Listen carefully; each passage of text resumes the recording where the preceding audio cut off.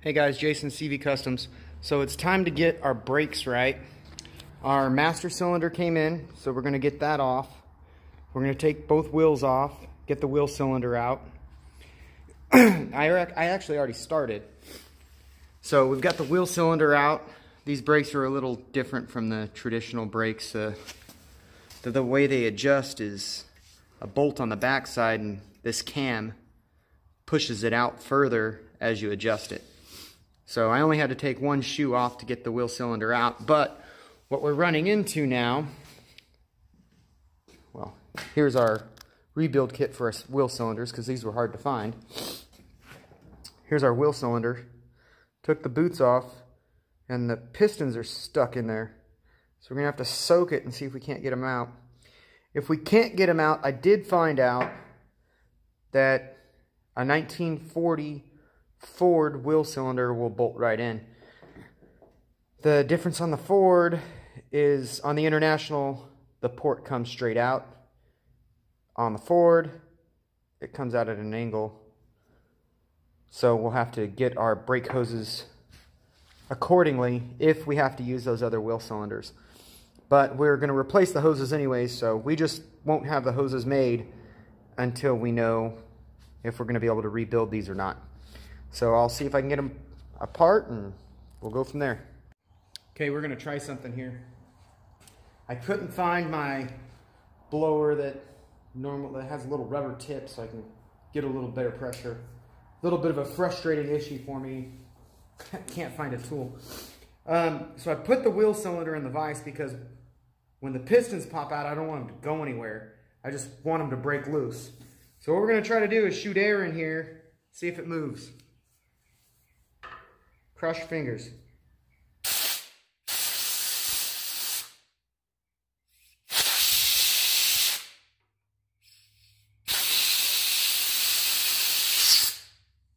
I don't think it's moving. Yeah, those dudes are in there.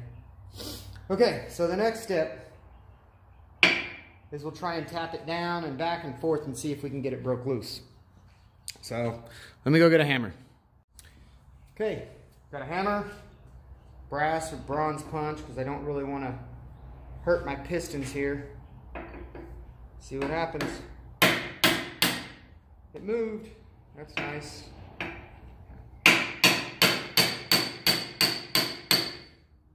That one moved too.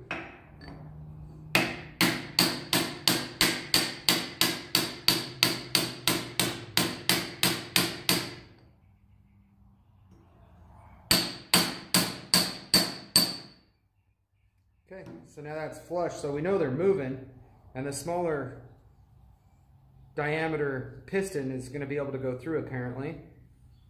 Let's see if we can get it all the way out here.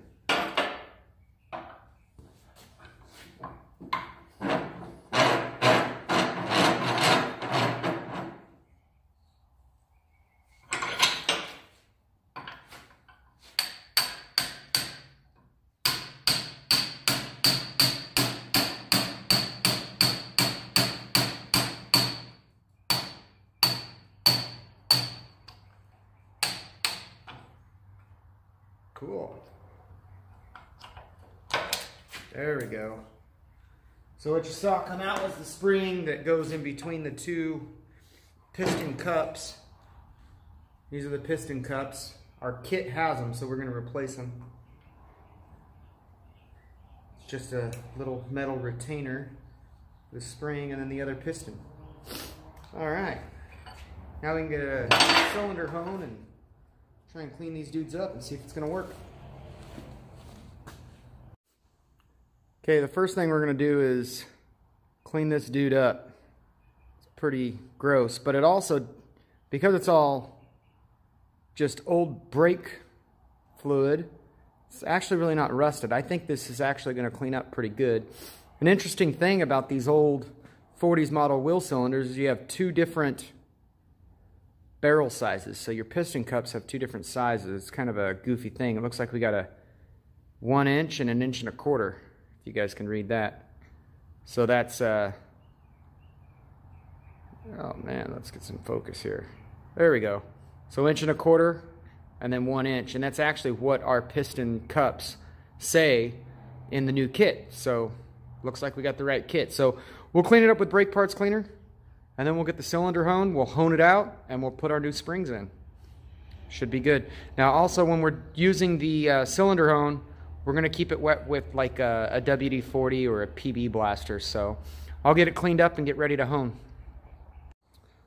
Okay, so she's clean, ready to hone. Something else you want to look at though is inside this port. I don't know if you guys can see it. The lighting is going to be kind of difficult, but there's a little bit of corrosion in there. So I'm going to get a pick and get that as clean as I can. You can't see that the, the orifice is clear, but we don't want any debris getting in there later on. So we're going to get a pick and clean that out before we even start because we don't we don't want any debris while we're going to hone because it can scratch the cylinder wall and just make it useless.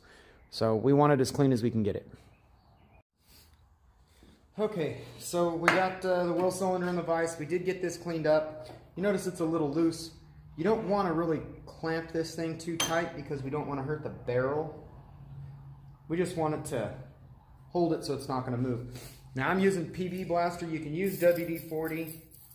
You just want it to stay wet. You don't want any uh, dry scratching. This cylinder hone, you can get at any O'Reilly's, AutoZone. They're really not even that expensive. So what we're going to do is just move back and forth and, and rotate it. Just keep it moving. Don't, don't stay in one spot.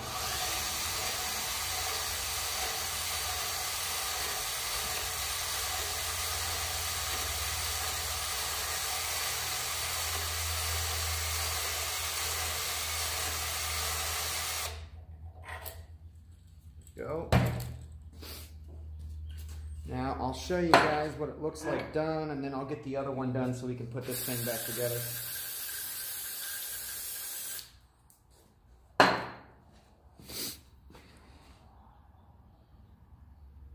So that's the honed side.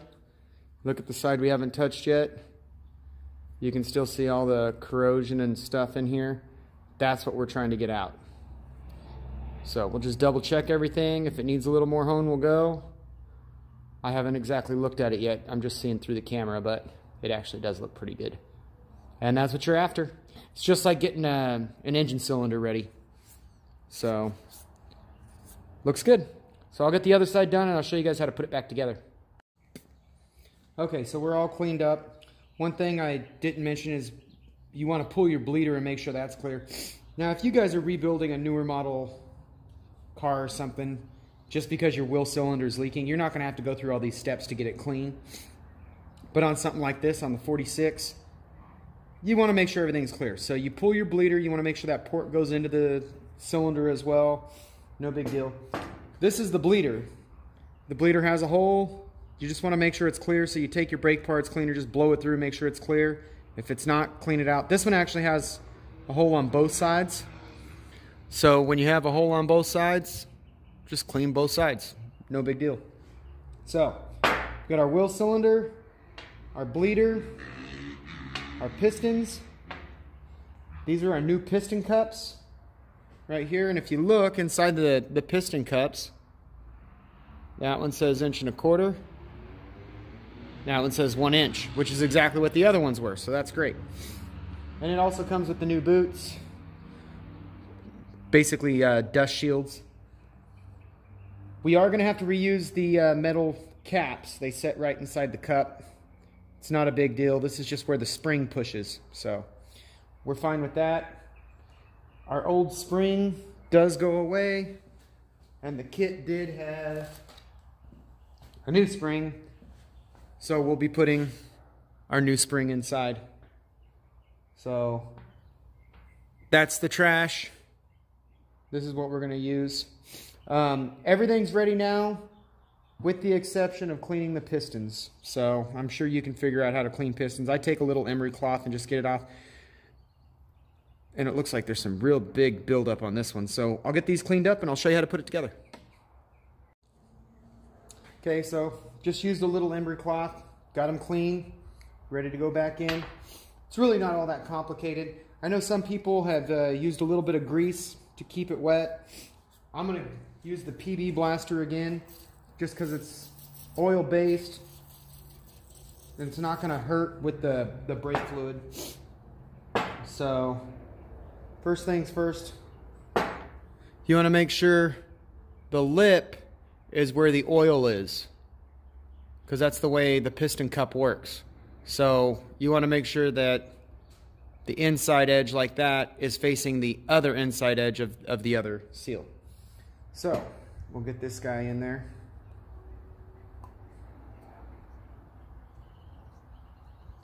Go. Set the piston in there. And then we want to get our retainer for that size piston down there. Make sure that sits in there real nice. Okay, next, our spring. We can set it flat so that it doesn't come out. Now, on this one, we're going to want to put the retainer on and then get the piston inside.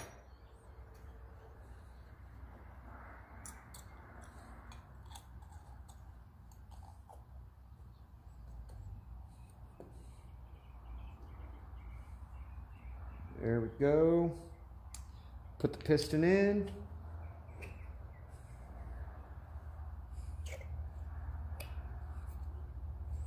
Cool. Now for our boots.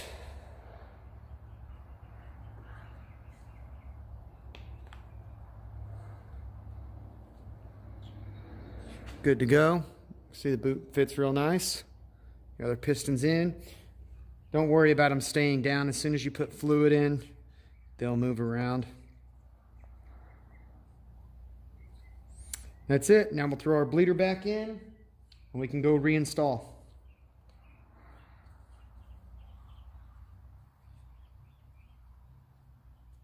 Bleeder's in. Let's go put it back in a truck. Okay guys, we got it back in. You can see with the brand new boots, Looks like a brand new wheel cylinder. This boot kit was only about seven bucks. The wheel cylinder was about $25 a piece if we went with the, uh, the Ford model that we found out we could get. This was definitely a lot cheaper. Didn't take much, much more time. Would have had to gone through all the other steps to do it, except for the cleaning and honing. Still worth it when you're doing all four cylinders. So I'm going to get the, uh, the hub back on. Then we'll get our other side done so that our front axle's ready to go. Make sure our brakes are right.